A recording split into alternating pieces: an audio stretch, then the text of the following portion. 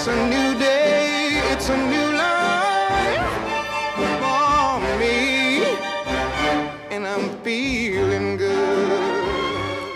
Well, this masterpiece is really looking good after a little refresh, but sometimes a makeover can take a bit longer. The Art Institute planned to unveil Georges Seurat's a Sunday afternoon on the island of La Grande Jatte today, but this morning we learned you'll have to wait until Tuesday to see it in a refreshed gallery space in its new frame. If we're successful, you really won't pay attention much to the frame. Seurat painted the iconic artwork in 1886, and it's been a part at the Art Institute for nearly a century, 98 years to be exact. If you'd like to see it when it returns to its rightful place Tuesday, admission is free on weekdays for Illinois residents until March 17th, but you must get those tickets in advance, show proof of vaccination, and wear a mask.